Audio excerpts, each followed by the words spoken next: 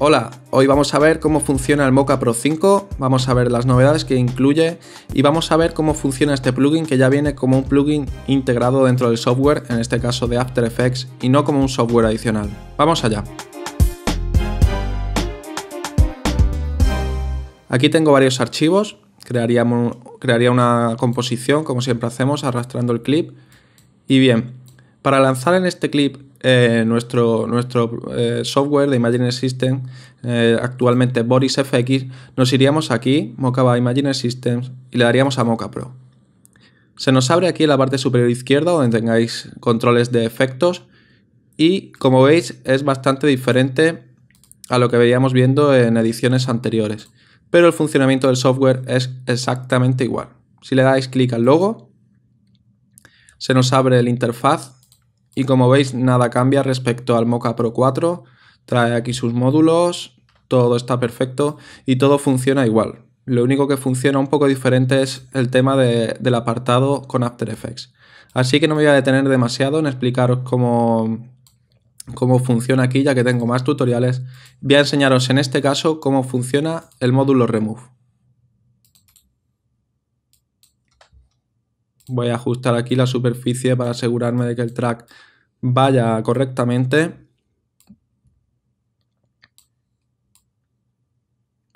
Y vamos a traquearlo.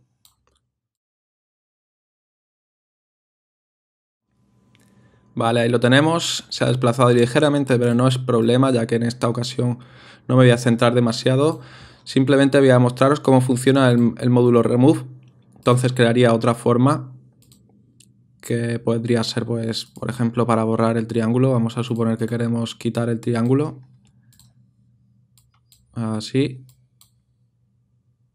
Ahí estaría. Vamos a imaginarnos que queremos borrar y, que se quede exactamente en blanco. En este caso, como, como, el track es exactamente igual, lo podría linkar al track 1 y si os fijáis, lo mantiene, ¿vale? Ahora, exactamente como funcionaba en Mocha Pro, nos iríamos al módulo Remove y en este caso tendríamos que crear un clean plate. Entonces le daríamos a crear clean plate. Nos iríamos a la ubicación. Ahí lo tenemos. Le daríamos a usar este clean plate exclusivamente. Y ahora tendríamos que abrir el Photoshop y limpiar ese fotograma. Entonces con la herramienta clonar vamos a limpiar esto. Voy a pasarlo a cámara rápida y vuelvo en un segundo. Bien, ahí lo tendríamos. Como veis, no me lo he hecho de forma rápida, pues guardaríamos con comando control S. OK, nos dice esto, le damos a OK y volveríamos a After Effects donde tenemos el plugin de Mocha abierto. Bien, siempre tenemos que tener la capa de remove por encima de la del background y que, y que, el shape del background ocupe más que el shape de lo que queremos borrar. Entonces, una vez, eh, una vez aquí en el módulo Remove, si le damos a esta pequeña tuerca, veríamos si está funcionando todo correctamente. Ahí está, está funcionando. Y lo que voy a hacer simplemente es guardar y cerrar. Y volver a After Effects. Como veis aquí todo sigue igual, no ha cambiado nada y diréis que está pasando, algo está pasando. Pues tendríamos que activarlo aquí. Entonces aquí tendríamos el, apartado de mate, que es para el tema de rotoscopia que ahora veremos un poco más adelante y máscaras. Y el de tracking, que ahora también veremos. Y el que, nos vamos, el que vamos a utilizar ahora, que es el de remove. Aquí tenemos varias opciones y la que vamos a elegir, ya que es la que estamos utilizando, es la de remove. La seleccionamos y le daríamos a render. Ahí está. Como veis ya se ha limpiado y si le damos al play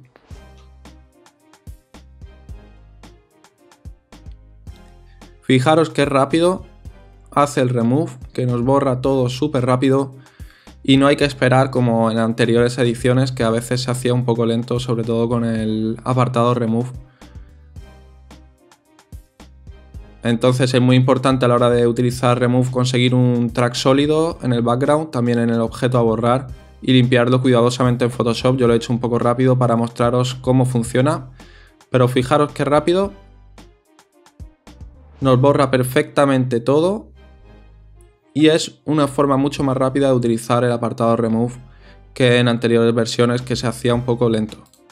Vamos a ver otra de las novedades del Mocha. Aquí tengo otro clip bastante diferente y en este clip vamos a utilizar otra de las funciones del Mocha Pro nuevo, el Mocha Pro 5. Vamos a utilizar en esta ocasión eh, un tracking con un nulo y vamos a hacer una pequeña rotoscopia a esta frambuesa, por ejemplo, de forma que nos iríamos aquí a Mocha, hacemos clic y se nos abre.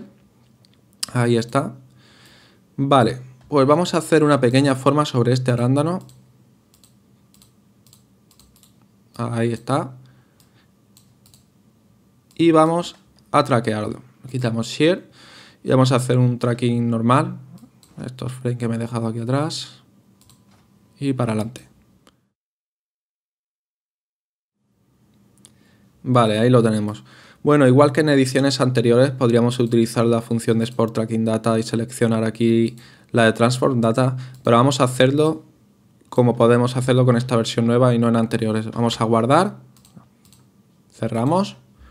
Una vez en After Effects, lo que haríamos sería crear un nulo, ahí lo tenemos, y desplegar el apartado de Tracking Data seleccionaríamos la opción que deseamos de, tracking, que en esta ocasión sería un transform, y lo querríamos exportar al nulo 5.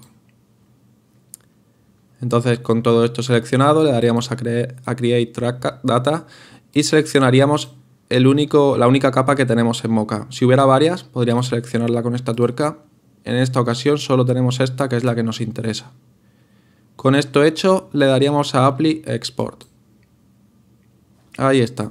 Si le damos dos veces a la U o una vez simplemente ya tendríamos aquí, ya podemos ver cómo está el nulo anclado al arándano. De forma que, bueno, que si creásemos una forma, por ejemplo así, una pequeña flecha, para que veáis cómo funciona, pues ya anclando esta flecha al nulo, funcionaría. Ahí lo tenemos. Muy sencillo, ¿vale?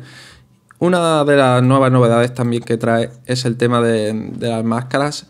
Vamos, vamos, a ver cómo funciona. Vamos a volver a Mocha. ¿Vale? Voy a bloquear esta y la voy a deshabilitar y quitarle el ojo. Y vamos a hacer, por ejemplo, una pequeña máscara de esta frambuesa. Ahí estaría. Vamos a ponerle un color más llamativo.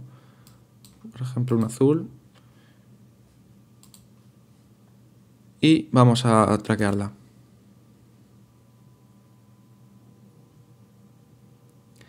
Vale, vamos a ir corrigiendo poco a poco.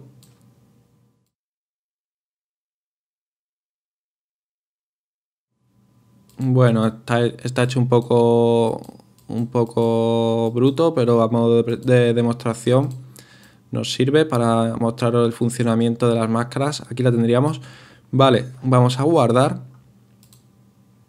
Y aquí está, está teniendo un problema ahora mismo con la compatibilidad con el nuevo CC18 de After Effects. Y si le diéramos a Copy to Clipboard como hacíamos anteriormente, nos daría. se nos cerraría el programa, se nos cerraría el After. Entonces voy a enseñaros la otra forma, que es la forma adecuada de copiar máscaras hasta que solucione este problema. Lo tenemos guardado en Layer 2, que esto lo, lo ideal sería nombrarlas y tenerlo todo bien ordenado. Guardamos y volvemos. Aquí estamos. Si nos vamos al apartado mate, vemos que tenemos aquí varias, varias formas, varios, varios parámetros y le damos a Visible Layers, vemos que tenemos dos. La 1 que la hemos utilizado a modo de tracking del arándano y la 2 que en caso de estar todo bien nombrado no nos generaría ningún tipo de dudas cuando tengamos muchas capas. La que nos interesa es la 2, así que la vamos a dejar activada y le vamos a dejar la vamos a dar directamente a Create AI Mask. Yo habitualmente no le doy aquí feather ni nada, lo doy, a, lo doy a continuación. Voy a mostrar cómo. Y una vez le hemos dado, aquí tenemos nuestra frambuesa. Vale, entonces ahora simplemente dándole a la F ya se nos abriría el apartado del calado. Y, como siempre han trabajado las máscaras dentro de, de After Effects, aquí estaría. Entonces pues simplemente ya podría duplicar esta capa y tendría aquí la frambuesa aparte. De forma que ya le, pondría, le podría añadir algún tipo de efecto a la frambuesa. En esta ocasión, pues, por ejemplo, un, tono saturación y cambiarle el tono ligeramente. Algo así.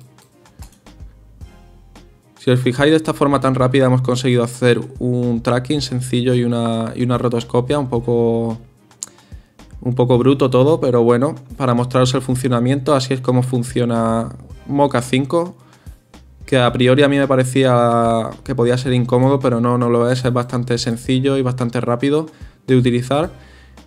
Bueno, y por último os voy a enseñar cómo realizar un, un track 3D, una cámara 3D con este clip esto se hace exactamente igual en el Mocha Pro 4 que en el 5, pero voy a aprovechar que no os lo he enseñado en ningún tutorial y vamos a ver cómo resolver la cámara 3D por si el automático de After u otros 3D eh, cámara no nos funcionan bien. Así que vamos a elegir Mocha Pro, lo vamos a abrir. Voy a colocarme por aquí en un punto más o menos por aquí y vamos a realizar tres formas. Mocha necesita por lo menos dos planos, ejemplo 1 y 2, para realizar un pequeño, para poder eh, salvar la cámara y realizar un, y que tenga datos de paralaje. Yo le voy a dar 3, vamos a elegir esta zona de aquí como 1, la 2 la vamos a elegir esta de aquí y la 3 la vamos a elegir esta parte de aquí. Vale. Vamos a ordenarlo. La más lejana tiene que estar atrás, de forma que quedaría 1, 2 y 3. Vamos a activar Perspective. Y vamos a traquear.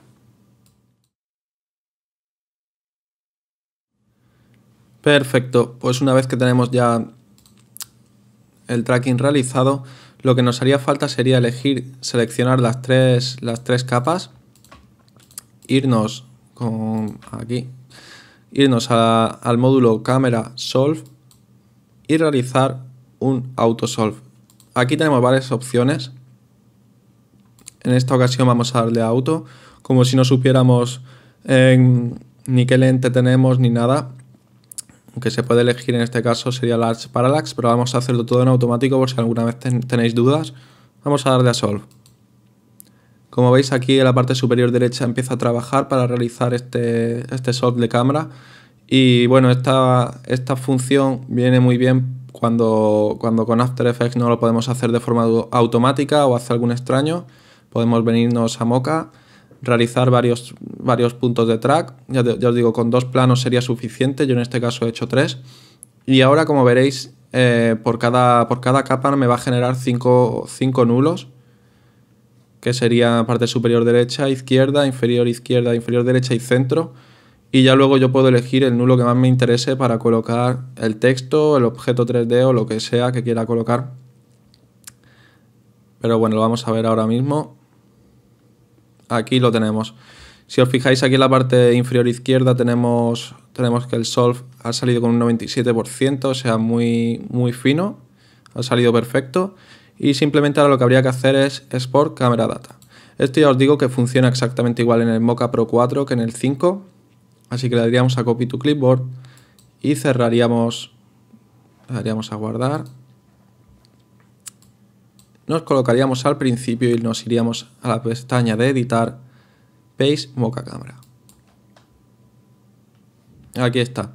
Bien, como veis genera un montón de, nulos, como os he dicho, porque crea por cada capa crea 5 nulos, ¿veis? Entonces en esta ocasión yo voy a utilizar por ejemplo uno de estos de aquí, entonces voy a ir quitando voy a ir ocultando con el fantasmita los que no me interesan, que serían los, los de la capa 1 y 3. Y de las 2 me voy a quedar con esta posición, por ejemplo. Quito las demás, aquí tendríamos. Y voy a crear aquí un texto que ponga, por ejemplo, cámara 3D. Y lo voy a convertir en un objeto 3D. Ahora simplemente copiaría la posición.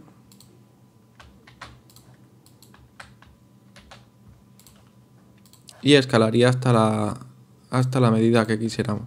Y ya si le diéramos al play, si os fijáis, aquí tenemos nuestro texto perfectamente anclado. Voy a subir un poco de posición para que no se nos vea con ese brillo. Perdón, le he creado un keyframe que voy a borrar ahora mismo. Ahí está. Y ahí tendríamos nuestro soft de cámara 3D que funciona bastante bien, es súper fino. Y para integrar objetos con Element 3D o, incluso de cinema o de cualquier forma o para textos, viene muy bien cuando se quiere realizar, se quiere realizar un 3D. Si alguno de vosotros habéis tenido problemas porque no sale la opción de Paste Mocha Camera, no os preocupéis, voy a dejar en la descripción del vídeo cómo descargaros el, el plugin para importar porque hay que descargarlo de la web de, de Imagine System, de Boris FX.